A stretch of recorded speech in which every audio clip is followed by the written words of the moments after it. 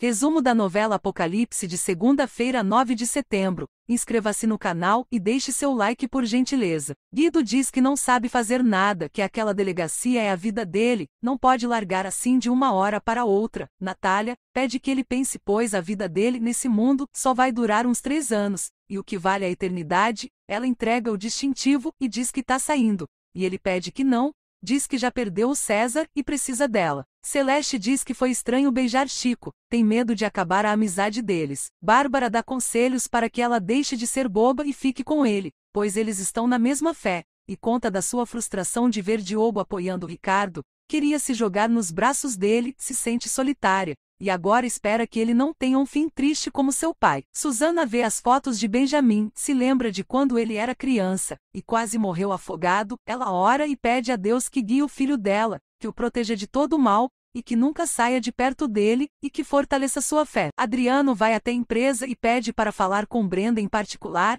ele sabe que ela escolhe mal namorado, mas que ela é alguém que pode confiar, descobriu sobre a caneta de Vitório, diz que Glória sumiu e pede ajuda para encontrá-la. E diz que Benjamin está chegando e precisa da ajuda dela para entrar na empresa, ela avisa que não vai ser fácil. Ele entrega um telefone para que ela fale com Benjamin sem ser rastreada, e pede que ela fique até tarde na empresa, pois ele dá um jeito de André não aparecer. Benjamin e César aguardam notícias, telefone toca e a Brenda dizendo que o caminhão está chegando e não vai levantar suspeitas. Então César diz que é hora de agir. Na mesma hora Adriano tenta atrasar André, pede para ele beber uma bebida da adega de Ricardo, ele recusa dizendo que está de serviço. Adriano diz que queria muito conhecer o gênio que trabalha para o filho, ele pede que Adriano diga logo o que quer, ele tem muito o que fazer. Benjamin se deita na frente do caminhão, que para, o motorista sai para socorrer, e César desmaia ele, os dois tomam o caminhão e Benjamin entra dentro de uma caixa, e César dirige.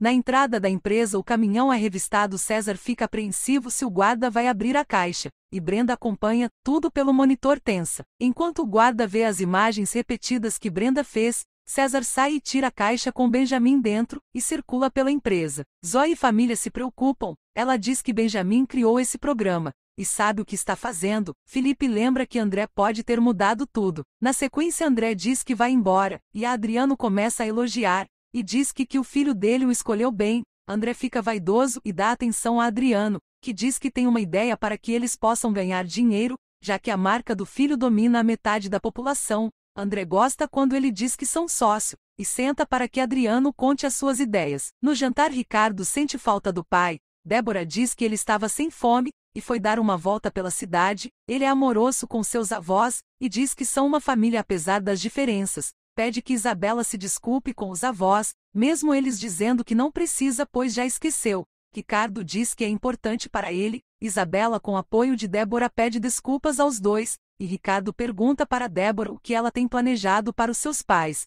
Ela diz que vai fazer um tour pela cidade, e Ricardo lembra que com toda a confusão, eles ainda não receberam a marca dele. Débora gosta da ideia, diz que amanhã cedo eles vão ser marcado. Os dois se olham, e Ricardo só observa. César chega até Brenda, Benjamin sai da caixa, e começa a inserir o vírus para acabar com os robôs. Ele diz Ricardo quer provocar uma destruição em massa, mas é para isso que eles estão ali, evitar que isso aconteça. No deserto Hannah e Tiatira fazem a ronda, e dão de cara com uma patrulha de robôs se aproximando elas se apavoram. Enquanto Benjamin explica o vírus, todos no acampamento se agitam e se preparam. Hannah fala que se os robôs avisarem deles para Ricardo será uma carnificina, mas Benjamin consegue infectar todos os robôs. Ao perceber que eles deram defeito, Hannah fala que foi milagre, e todos comemoram. Benjamin também comemora e diz que foi um trabalho de equipe, e César diz que tem que continuar com o plano. Brenda mostra a sala que eles têm que deixar ela trancada,